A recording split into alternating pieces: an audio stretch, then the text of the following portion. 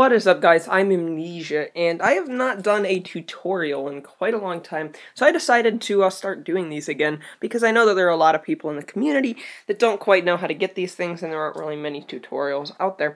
So, um, for the first tutorial, coming back to making these, I decided to do the seahorse, because I know that I've seen a lot of people that really want this ship. So, how you get this seahorse ship is beat 1,000 user created levels. Now, I know what you're saying. You're probably like, how am I ever going to do that? I mean, it's not a very easy task.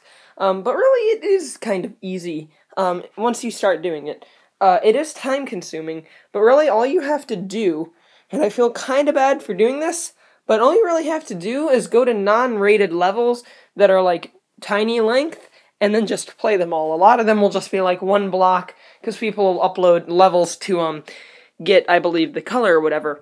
So it's really not that complicated. All you have to do is beat 1,000 user created levels, which is really easy if you just go play um non-rated stuff or even autos, but those uh, can sometimes vary from like, you know, a minute and a half long, a minute to two minutes, really.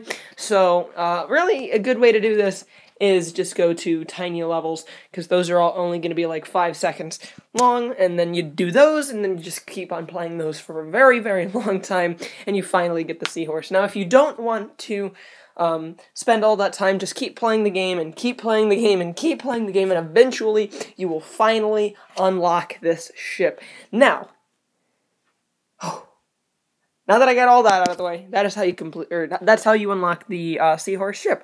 But I also want your guys' suggestions on what you want me to see next. If there's any ship or any UFO or any icon that you guys want me to uh, make a video on, then uh, comment it down below. Also, uh, either later today or tomorrow, I will be posting a little vlog an update type thing, which will be going over quite a bit of important things. Um, and then either tomorrow or the next day, I will be posting a top 10 hardest demons video. So, uh, yeah, I do have most of the demons already ready for the top 10 hardest demons. Uh, so I don't really need suggestions on that anymore.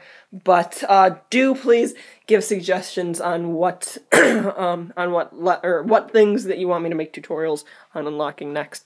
I'm Amnesia. I will see you guys in the next video. Remember to take that like button, throw it off a cliff into a pit of lava. I'm Amnesia. I need mental help. Peace, I'm outie.